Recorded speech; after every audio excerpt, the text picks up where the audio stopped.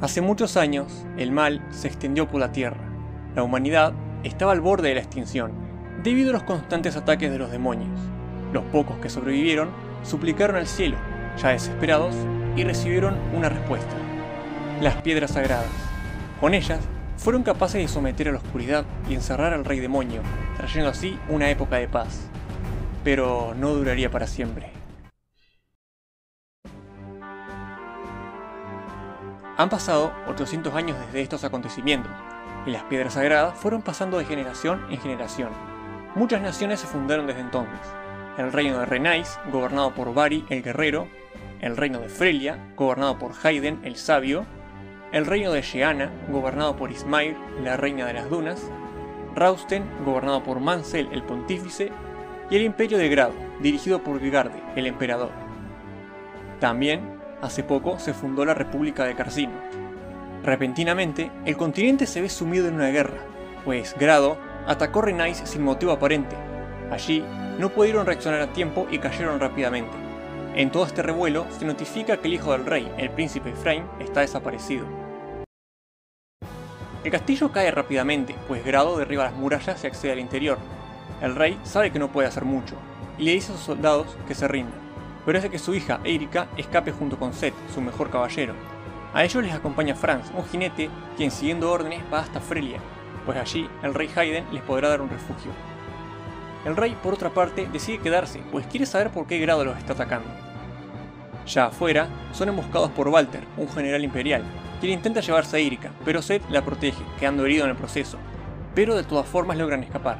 Seth le da una espada y le dice que si le ocurre algo, deberá seguir ella sola hacia Frelia, aunque son atacados por soldados de grado en el proceso, sin embargo, los elimina sin muchos problemas.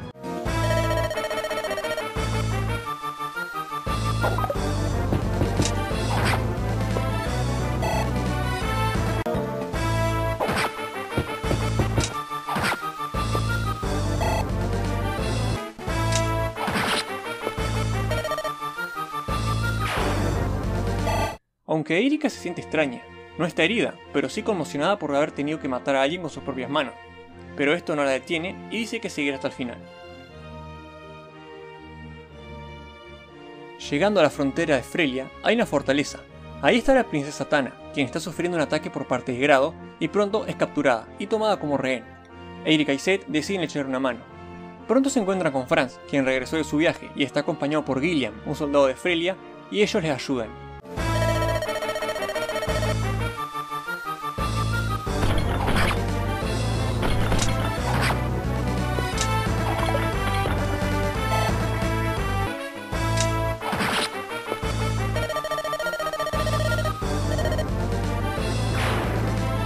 Tras eso, rescatan a Tana, quien les dice que se enteró de lo que estaba pasando en Renais y lo lleva al castillo a reunirse con su padre. Una vez allí, el rey le da noticias a Erika sobre su padre. Resulta que lo asesinaron en el asalto. Él quiere hacer pagar a los de grado y jura hacerlo, pero por ahora les ofrece un lugar para quedarse, ahí mismo. Seth le pregunta sobre el paradero de Efraín, y el rey le dice que según tiene entendido, está enfrentándose a Grado en estos momentos, y está en un lugar llamado Rembal. Erika dice que irá a darle una mano, y el rey dice querer darle refuerzos, pero ahora mismo está ayudando a su hijo, quien también está teniendo problemas con Grado. Pero no se queda sin hacer nada, pues le entrega tres soldados, Vanessa, una jinete Pegaso, Moudler, un sacerdote, y a Gilliam, el acorazado, más un carro y provisiones. Tana quería acompañarla, pero sabe que no puede hacerlo. Ella no entiende por qué empezó esta guerra, y fue todo tan repentino. En el camino no tardan en encontrar problemas, pues aprovechando la guerra, bandidos aprovecharon para atacar las aldeas. De una de ellas logran escapar tanto García como Ross. Vanessa los rescata, y ellos deciden unirse para combatir. Seth reconoce al guerrero, pues en el pasado luchaba por Nice, era comandante cuando él se estaba entrenando. Pese a querer proteger a su hijo, García lo sigue a insistencias de Ross. Le hace ver que ya no es un niño y que sabe luchar.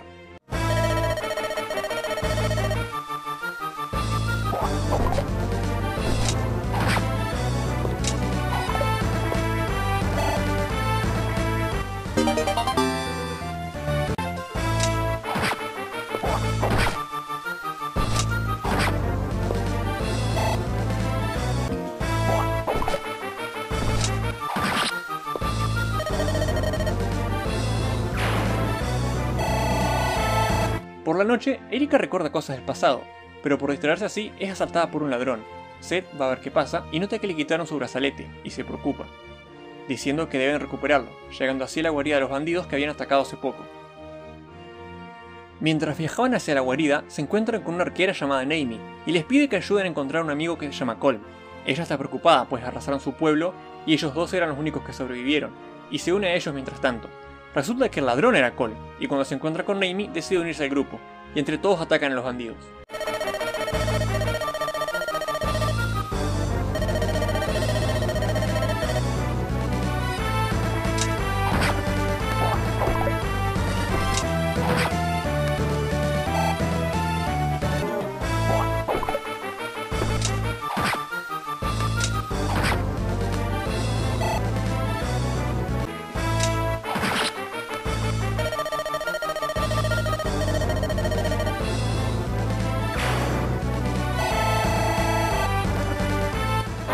Tras eliminarlos, Colm devuelve el brazalete. Seth le dice a Erika que nunca lo pierda de vista, porque es muy importante para el futuro. También le dice que más adelante se lo va a contar todo, pero que ahora no es el momento.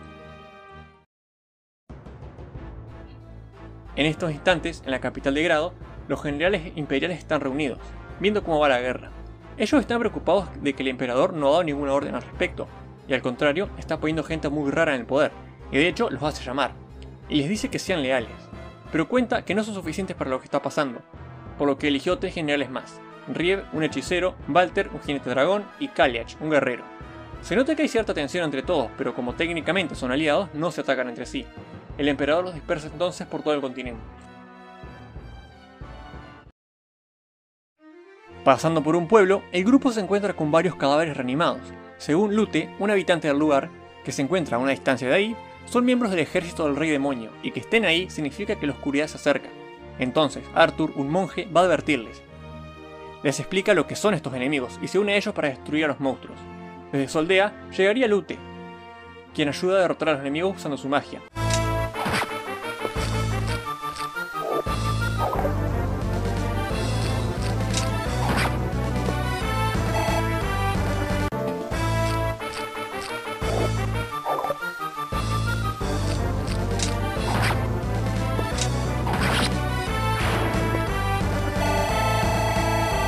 Eso, Seth sugiere volver a Frelia a pedir refuerzo, pues esto podría llegar a complicarse, pero no había tiempo para eso. Es entonces que se toma con unos viajeros que parecía que querían ayudar, pero como llegaron tarde, se van por donde vinieron. A medida que avanzaban, más y más monstruos aparecían por todo el continente, todo mientras Irika llegaba a una ciudad que era una frontera entre Renais y Grado. Acá, la gente de los dos reinos convivían en paz, pero con la guerra eso cambió.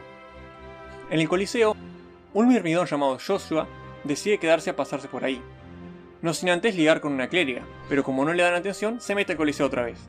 En la ciudad hay soldados de grado por todos lados y tienen las órdenes de capturar a Erika. Antes de entrar, se encuentra con un hombre que pregunta por una chica de pelo violeta, pero como no la han visto, se marcha. La clériga de antes, que ahora sabemos se llama Natalia, está siendo perseguida por los soldados. Ella intenta explicarles que algo le pasa al emperador, pero nadie le escucha. Es entonces que es rescatada por el grupo. Ella logra acercarse al tipo del coliseo, quien se presenta como Joshua. Le dice que le están pagando para matarla, ella le explica la situación del emperador, pero él dice que no le importa lo más mínimo. Si es cierto o no, a él no le interesa. Pero tener que matarla no le convence, así que le propone apostar. Y tirarán una moneda. Si ella gana, la deja vivir. Entonces, lanza la moneda. Como pierde la apuesta, Joshua decide unirse al grupo.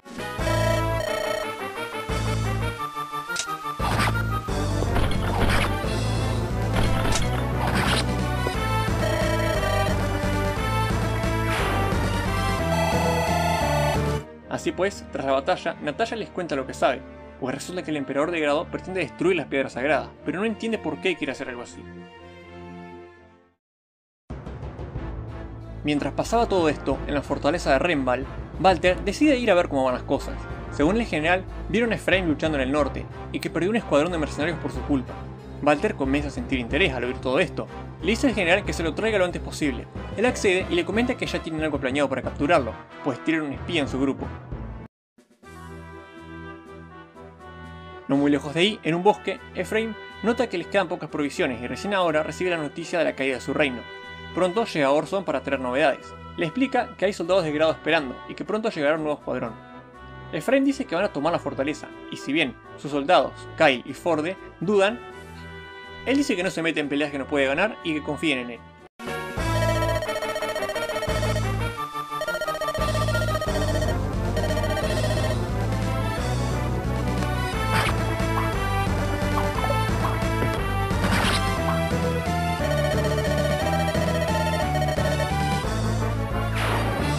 Pero, para su desgracia, los refuerzos enemigos llegan muy pronto y los rodean, por lo que deciden escapar.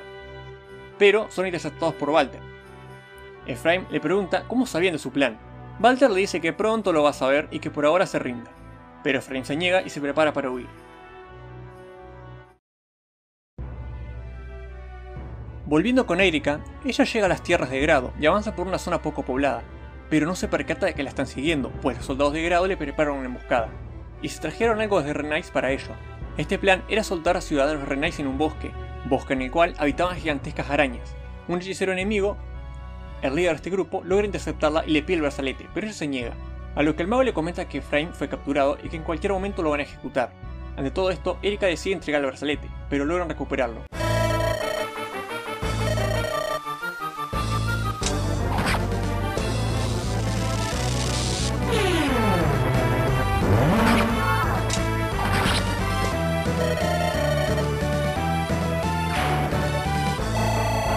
Es entonces que Seth decide revelar el secreto. Él le explica que en Renais hay una piedra sagrada y se encuentra a simple vista en el templo, pero es falsa. La original está debajo del castillo y para obtenerla hace falta romper varios hechizos. Los antiguos reyes de Renais decidieron esconderla por su poder, y las llaves para abrir la cámara eran los brazaletes, pues Efraim también tiene uno. Se suponía que esto era un secreto, pero ya quedó en evidencia que Grado sabe de esto, y por eso los están buscando, y que deben rescatar a Efraim a toda costa. Entonces se ponen en marcha hacia la fortaleza de Ringwall. Esta fortaleza está defendida por ballesteros y su única entrada es un puente, evitando así ataques por los flancos.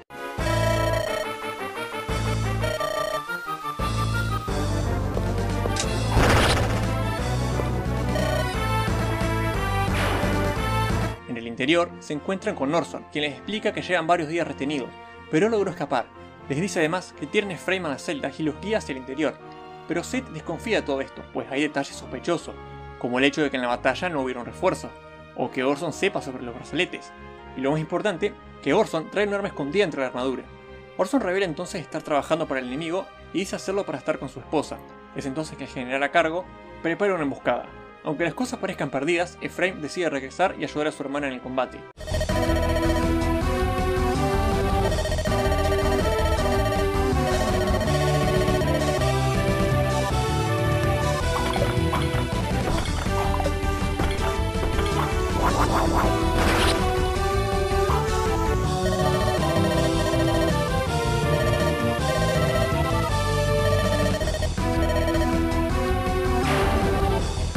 Pero repentinamente una niña llega y se pone al lado de Frame. Y le dice que presiente algo, por lo que sugiere que todos salgan de ahí. A Erika se le hace un poco extraño. El Frame dice que le va a explicar todo, pero no en este lugar, por lo que se retiran.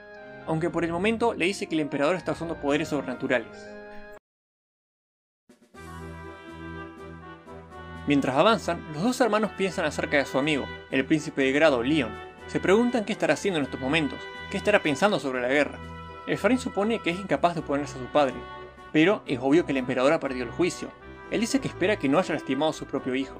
Erika, por otro lado, dice que quiere reunirse con él, como en los viejos tiempos, y tras eso regresan a Frelia.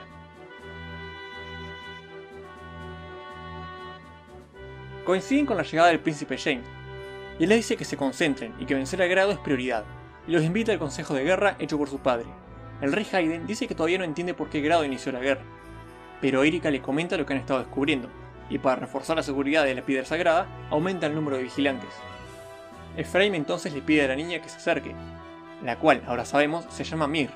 Todos se percatan de que tiene alas en la espalda, pero le da pena contar la historia y lo deja en manos de Efraim. Él les explica que ella es una manaquete, es decir, una dragona. Tras eso, Mir decide retomar la historia. Dice que vive en un lugar llamado el Bosque Oscuro, y que ahí un día sintieron algo, una energía inmensa que provenía de Grado. Ella salió del sitio acompañada por un mago llamado Sale, pero en pleno viaje fueron atacados y tuvieron que separarse.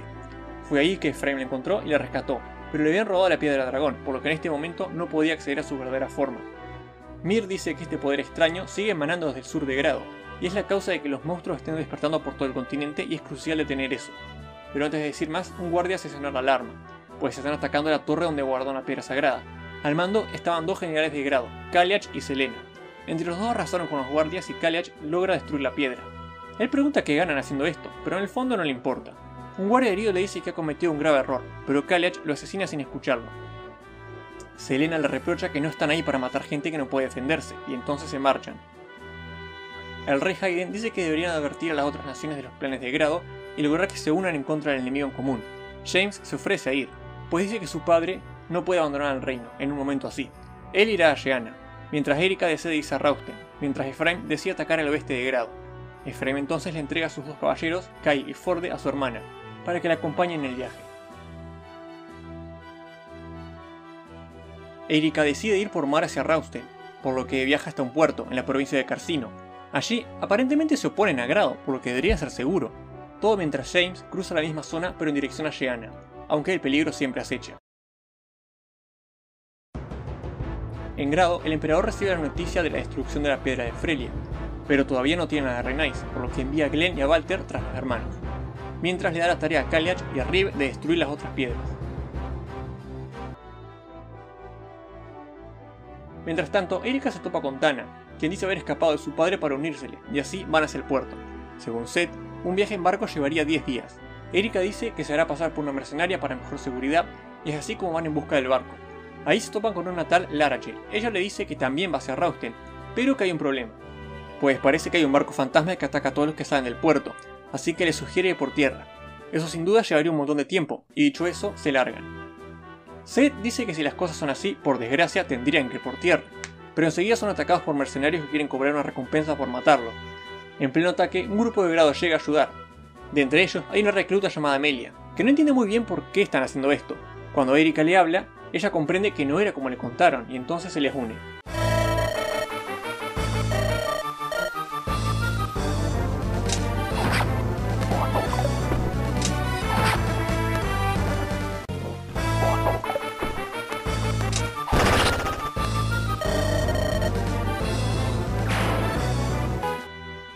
Tras el ataque, Seth interroga a un mercenario que sobrevivió y lo obliga a confesar. Dice que un tal Pablo, del Consejo de Carcino, los contrató, y eso es raro, pues Carcino y Frelia son aliados, no tiene sentido. Según el mercenario, quizá crea que Grado así ganaría la guerra. Erika recuerda entonces que James está cruzando a Carcino, y si son enemigos, está en peligro. Justamente eso sucede, pues llega un mensajero a informarle que lo tienen rodeado en estos momentos. En Grado, el emperador ordena a Glenn que termine la rebelión en Carcino y capture a Erika.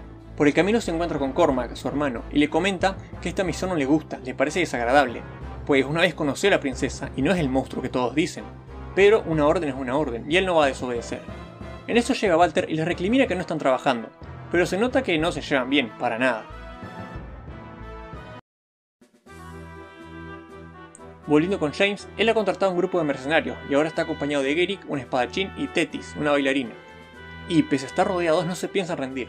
James los despide, para que se vayan, pero los mercenarios no le hacen caso y se quedan a su lado. Tana, usando su Pegaso, llega hasta donde está James y al verla se le une al grupo. Él mismo se encarga de reclutar a los mercenarios de Gerik y ya de paso en los enemigos hay una espadachina llamada Marisa. Resulta que ella es una mercenaria del grupo de Gerik y ella se cambia de bando al hablar con su jefe. Resulta que quien lideraba el ataque era Pablo, quien al ser atacado decide retirarse del combate.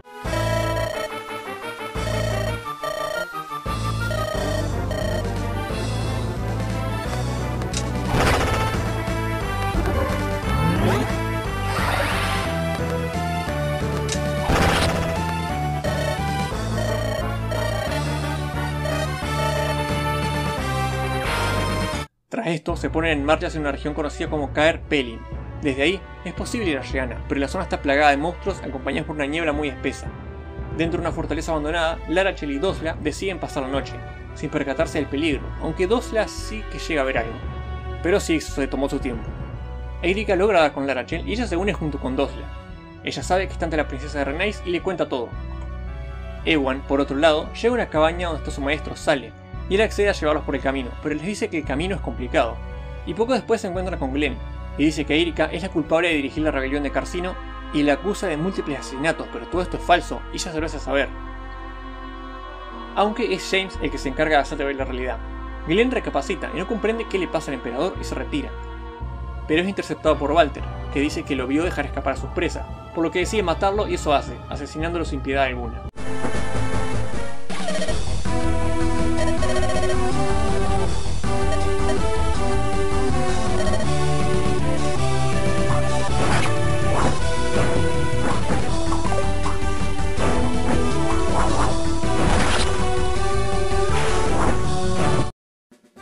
Según Sale, están a un día de llegar, pero son atacados por monstruos, así que los van eliminando antes de proseguir. Sally dice que vienen del bosque oscuro, y que de hecho son creados ahí. Ewan se esconde en una casa para evitar el combate, pero no tardan en ir a buscarlo y ahí lo reclutan.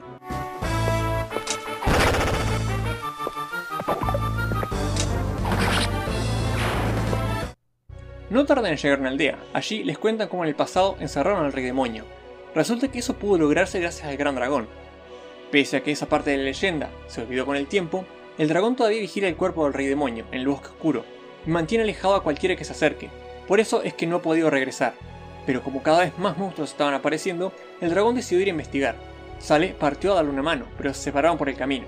Resulta que este gran dragón, o mejor dicho, gran dragona, era Mir, y como ella se encuentra en grado junto a Efraim, Sale decide ir a buscarla, pero deberían pasar por Sheana, puede ser el camino más cercano.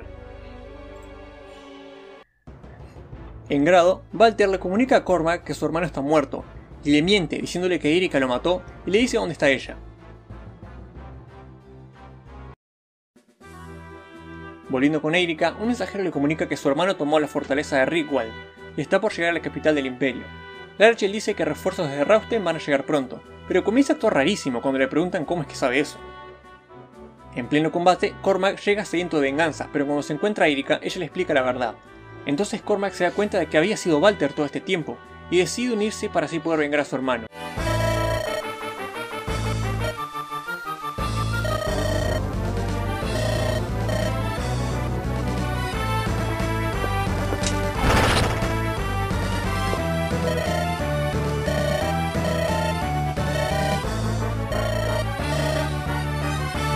Poco después llegan los refuerzos de Rausten, entonces se revela la identidad de Larchel, y es la princesa de ese reino. Ella se hacía pasar por otra persona para seguir eliminando la maldad de la tierra. Seth llega con novedades, dice que el palacio de Gianna ha sido tomado por grado y no saben si la reina está a salvo, y que el príncipe Leon lideró el ataque. Eso sin dudas sorprende a Erika, pero no pierden el tiempo y van hacia allá. Según reportes, Leon está atacando el palacio y acercarse a él es peligroso debido a su conocimiento en magia oscura, Dentro del castillo, Carile, el guardia personal de la reina, se revela y le dice que todo es culpa suya, pues haciendo esto no solo le salvaría la vida, sino que también podría quedarse con ella.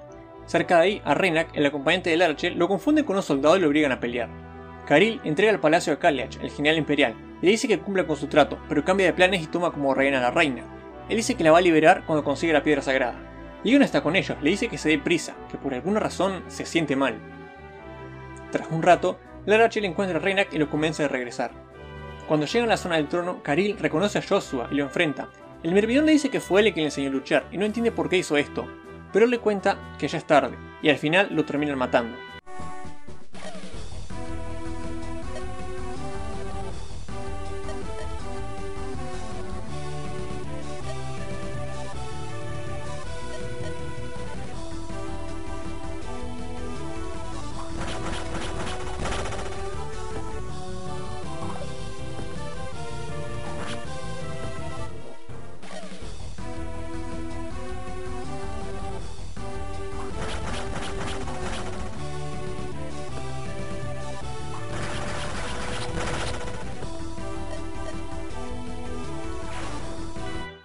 Cerca de ahí, Kaliach dice a la reina que entregue la piedra. Él pretende matarla, pero Leon se lo impide.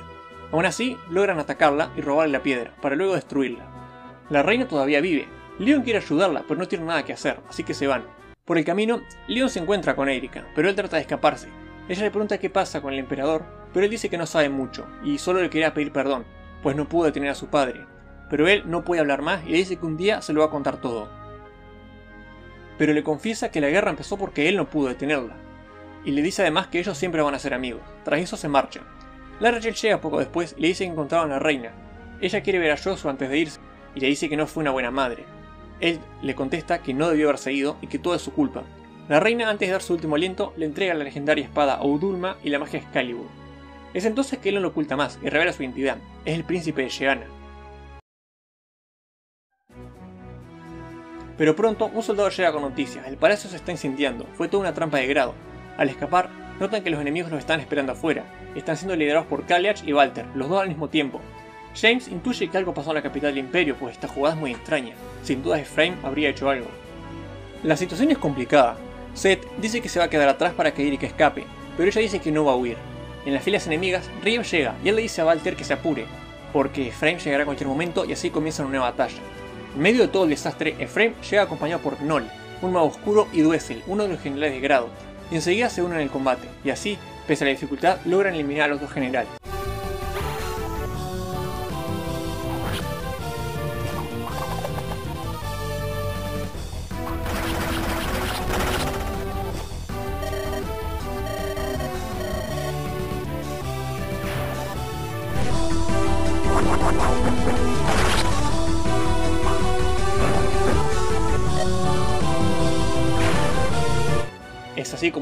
Finalmente se reencuentran.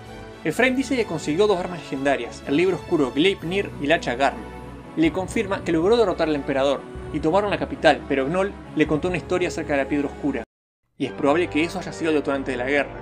Resulta que Vigarde, el emperador, había muerto hace tiempo, pero con el poder de la piedra su cuerpo todavía podía moverse. Según Gnoll, el que creó esta piedra no fue otro más que Leon. Erika no le cree y les dice que lo encontró hace poco y que según ella es un aliado, Efraín le cuenta que también se lo encontró y que era una persona totalmente diferente al que habían conocido, que ya no parecía un humano. Le contó que fingió ser un amigo para poder invadir su reino, y que fue él el que mató a su padre. Según Noll, Leon cambió al tocar la piedra oscura. James, tras oír eso, propone destruir la piedra. Pero Larachel dice que es demasiado poderosa y no se puede, pero con las piedras sagradas quizá que haya una oportunidad. Solo una basta, pero tienen que conseguirla ya mismo, y así vuelven a Renais. Todos se van hacia Renais para buscar la piedra, pero encuentran el castillo de los alrededores en ruinas. Orson tomó el mando y se rodeó de bandidos. Seth les confirma que su esposa murió hace tiempo, y eso le afectó muchísimo. No parece querer ser un rey ni nada, solo se refugió en lo que quedó del castillo. Mir dice que los ayudará pues recuperó su piedra de dragón con la que puede transformarse en su forma verdadera. Dentro del castillo, Orson habla con su esposa, sin prestar atención a lo que ocurre afuera, ni siquiera sus soldados confían en él, pero no lo dejan solo por el hecho que les paga. Algunos incluso se ponen a buscar baratijas para robar. Entre todo este desastre, Leon y Riev van con Orson, pero este los echa. Riev le informa de que en cualquier momento lo van a atacar y que no van a tener piedad con él. Cuando ellos se retiran, Riev le dice a Leon que le parece divertido el hecho de que se piense que en verdad Orson está con su mujer. Pero Leon no le presta atención, es más, parece dolerle algo, a lo que Riev le da una mano.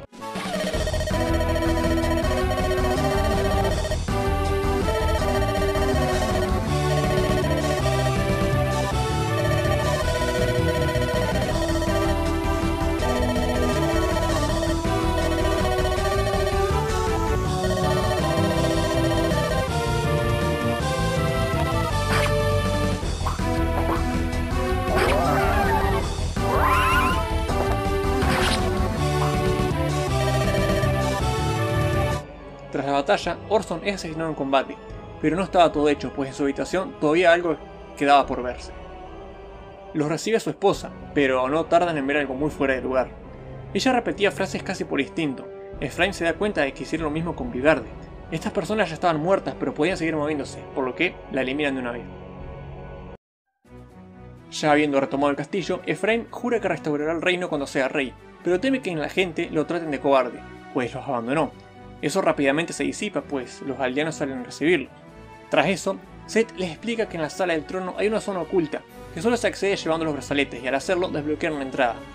Ahí se encuentra la piedra sagrada, pero además están las dos armas legendarias de Renais, Siegmund, de lanza de fuego, y Sieglin, la espada de trueno. Según Larachel, la piedra Rausten sigue estando a salvo y ese es el siguiente destino. Efraim y Erika recuerdan un acontecimiento que sucedió hace dos años aproximadamente, Aquella vez, Leon les contó cómo usando la piedra oscura pudo resucitar a una niña que murió en un incendio, y se le notaba bastante emocionado por su descubrimiento. Volviendo al presente, encuentran a varios soldados de Frelia siendo atacados. La capitana de este grupo, Sirene, intenta defendernos a los aldeanos. James la reconoce y le dice que hay que salvarla de inmediato. Y eso hacen, pero antes de llegar, Leon los interrumpe. Efraim, pese a todo, se pone a la defensiva, pero Leon no entiende por qué. Les dice que sigue siendo un amigo y que nadie lo está controlando. Pero de pronto su dolor regresa y ahora su voz cambia. Suena más demoníaco, y antes de perder el control les pide que se alejen, pero ya es tarde, de su voz salen palabras que dicen que fue divertido hacerse pasar por un humano. Pero sea lo que sea que estaba ahí, ya no lo iba a hacer más. Dice que el cuerpo de Leon ya no le pertenece y que lo consumió hace mucho. Finalmente la voz se presenta, es el rey demonio, hablando otra vez de Leon, y entonces retoma el ataque.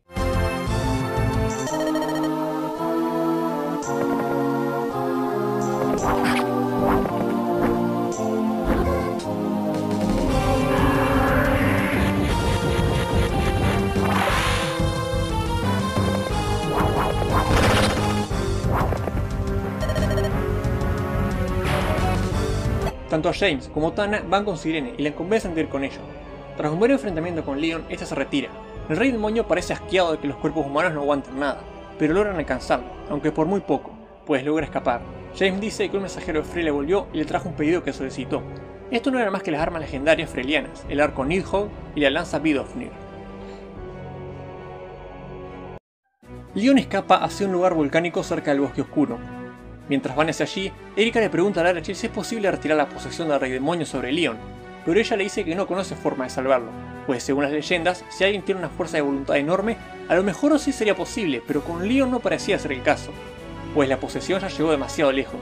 Seguramente su alma ya fue consumida, y si por alguna casualidad lograran quitarle al demonio, el cuerpo quedaría como una cáscara vacía, ni siquiera las piedras sagradas pueden restaurar un alma. Erika, pese a todo, sigue creyendo que es posible salvar a su amigo, y pronto son atacados por monstruos que habitan la zona.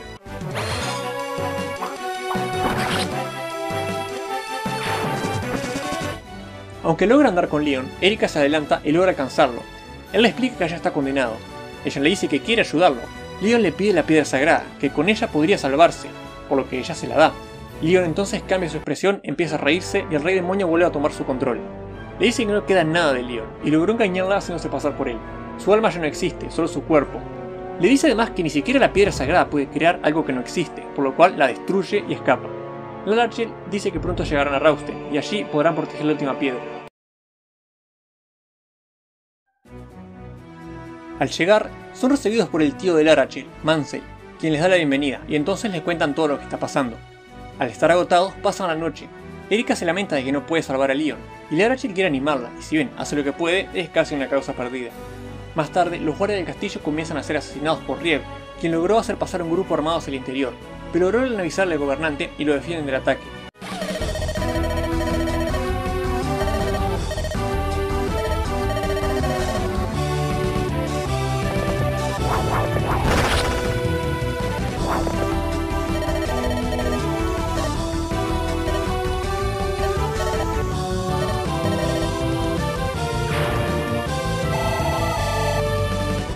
Habiendo perdido, decide retirarse y se va al bosque oscuro, y los demás, tras haber puesto en manos seguras la última piedra sagrada, van hacia allá. Pero antes reciben las armas sagradas de Rausten, la magia de luz Ivaldi y el bastón Latón. En el bosque, el rey demonio dice que pronto podrá resucitar y será imparable. Es atacado por un manaquete que lo reconoce, incluso estando en el cuerpo de Leon. Este dragón, que se llama Morg, quiere detenerlo tal y como lo hizo hace 800 años, pero fracasa y es asesinado. Una vez llegan al bosque, Mir dice que podrían pedirle ayuda a su padre, que no hay de qué preocuparse, pero son atacados por un grupo de monstruos. Leon invoca a un dragón zombie y entra en un templo. Le dice a Riev que retenga a sus enemigos mientras él prepara el ritual. Al momento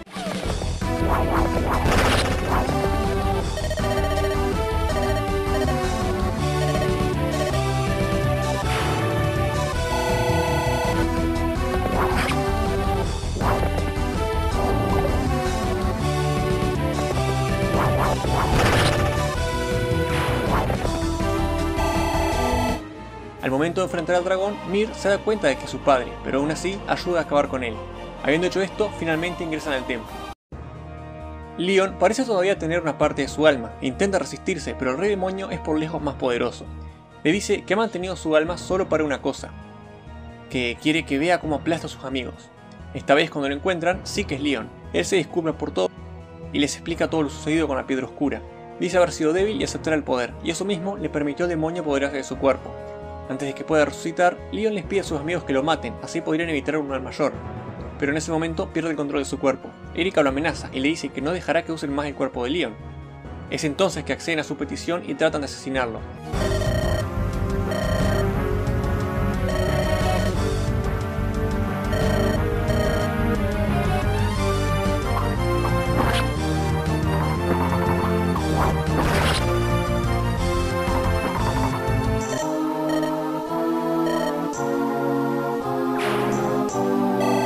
Eventualmente lo hacen, y él se despide antes de morir, pero incluso así, una oscura presencia llega al lugar y usa el cuerpo de Leon para resurgir. Y es así como el rey demonio se manifiesta en su forma verdadera. Así que para debilitarlo y ser capaz de vencerlo, usan la piedra sagrada contra él. Así encierran su alma en la piedra, pero su cuerpo todavía puede luchar y tras una gran batalla logran detenerlo.